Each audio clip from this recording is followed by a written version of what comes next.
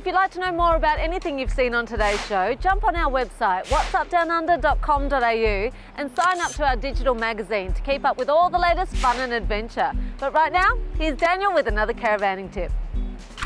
For our next tip, we've got John Simmons here from Thetford to talk about one of the most important things about a caravan.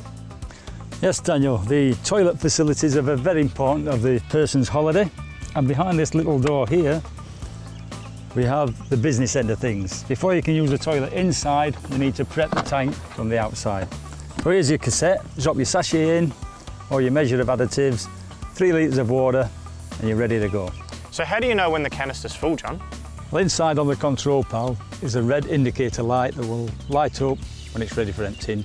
You take the cassette out, turn the spout, press the vent button, and empty into the designated dump point. So one of the other great things I've learnt about Thetford, John, is if you buy a used caravan, you've obviously got a used toilet. So what you can buy from your outlet stores or online is a fresh up set and then you're ready to go. Now, if you want to find any information about this tip or any other tips, head to gomakesomememories.com.au.